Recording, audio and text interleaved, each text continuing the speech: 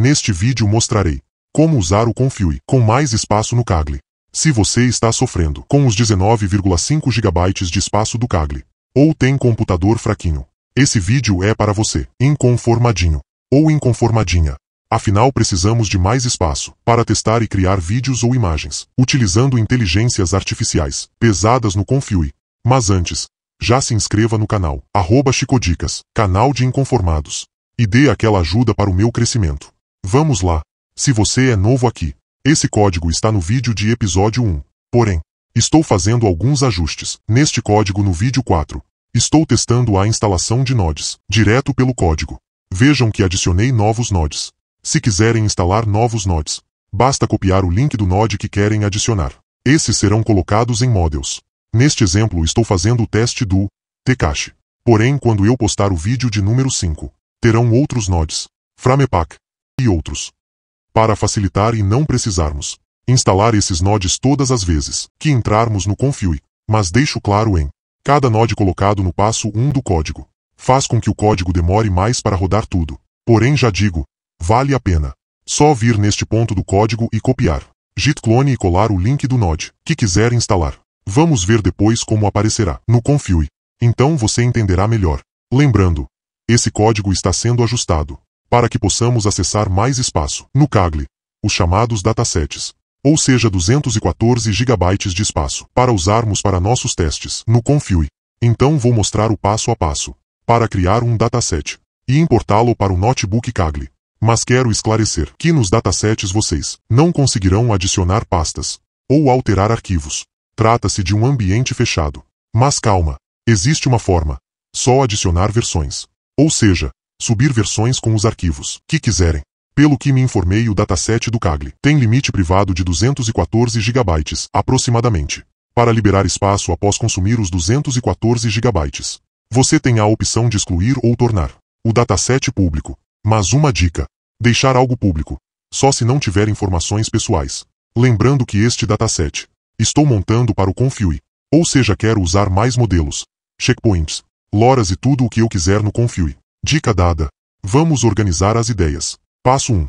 Defina o que quer em sua pasta do Confui. Neste exemplo eu listei alguns modelos de IA em um arquivo de Word.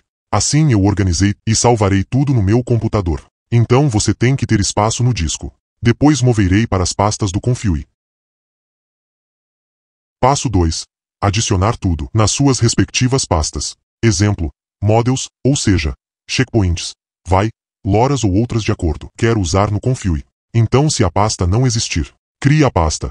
Nesse passo para não ter dificuldade no dataset. Atenção alguns modelos requerem pastas diferentes. Então sempre olhe as informações de cada modelo e baixe para suas pastas corretamente. Se a pasta não existir, crie. Passo 3. Zipar o arquivo que você quer usar. Neste passo usei um zip gratuito mesmo. Galera esse passo pode demorar pois você precisa saber que quanto mais gigabytes, mais demorará para você baixar tudo para as pastas, e depois zipar.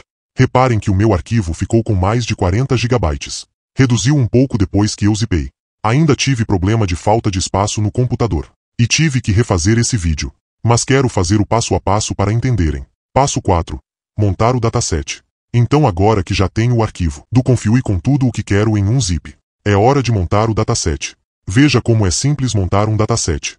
Passo 4.1 Acesse o Kaggle. Aqui em Home você pode clicar em Dataset. Vejam que tenho alguns criados. Todos estão privados. Antes de criar um novo dataset. Entenda que aqui em Datasets, você consegue ver todos os datasets criados. Vou mostrar esse.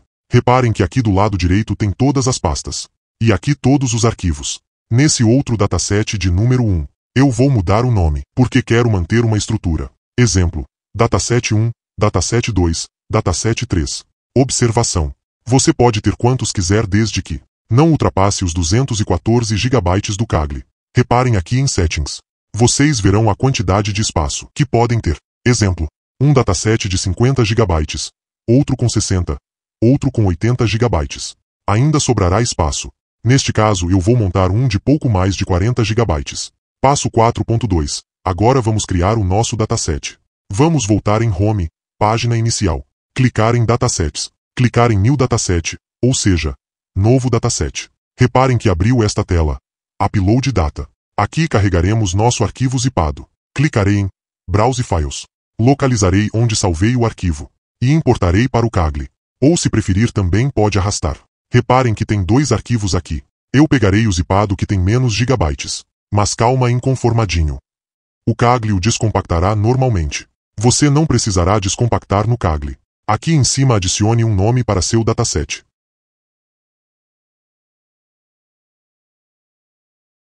Reparem que o arquivo está sendo gravado aqui. Agora vou clicar em Create. Esse processo de carregamento de arquivos pode demorar. Eu deixei o computador ligado e fui fazer outras coisas. Levou um tempão. No meu primeiro teste eu tentei colocar o arquivo sem zipar. Deu erro. Então oriento a subir o arquivo zipado.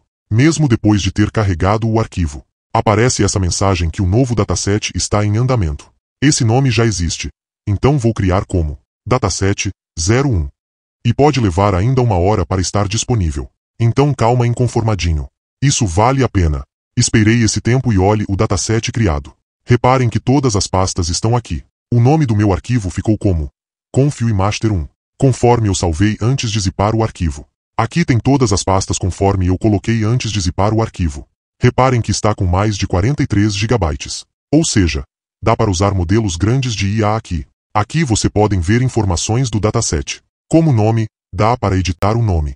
E outras informações como privado ou público, isso é você quem decide. Mas bora integrar esse dataset no notebook do Kaggle. Passo 4.3, crie um novo notebook. Se quiser clicar em novo, basta clicar em Code, depois em New Notebook, ou seja, novo notebook. Isso eu mostrei no vídeo 1. Eu já criei um notebook e vou acessar a outra aba. Reparem, já importei o meu código para esse notebook. E agora vou integrar o dataset. Reparem que ainda nem rodei código. Reparem aqui do lado direito. Tem a opção Input. Clicarei em Add Input. Reparem que aparecem todos os datasets que tenho.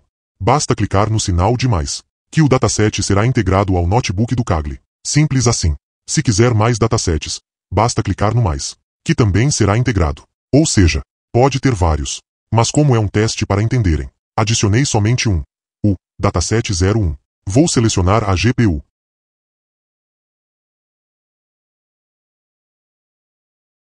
Mas estou sem tempo. Já consumi tudo. Então sempre priorize a GPU para rodar IA. Mas como eu já usei tudo, vou usar só o notebook do Kaggle. Sem GPU. Vai dizer que não sabia que também dá para usar? Poxa, inconformadinho. No vídeo 3 eu mostrei isso. Mas vejam que quando eu ativo se quer usar GPU, CPU ou TPU, aqui aparece essa mensagem informando que está lendo o dataset, porém tem que esperar carregar tudo. Ou seja, no meu caso são mais de 40 GB. Porém isso não demora muito. Reparem que primeiro ele carrega os arquivos do dataset. Somente depois ativará seu ambiente, no meu caso a CPU. Agora vou rodar o código 1 normalmente. Lembrando pessoal, nesse código eu já estou usando o Framepack e outros nodes. Então esse código 1 pode demorar uns 6 minutos para rodar completamente. Mas vale a pena. Verão isso dentro do Confui sem precisar ficar desconectando e resetando para instalar nodes. Reparem que ajustei o código 2. Agora o código 2 lerá todos os datasets integrados. Verificará cada pasta e criará um link dentro de Output para não ter erros no Config. Ou seja, para vocês não mudará nada, porém se integrarem.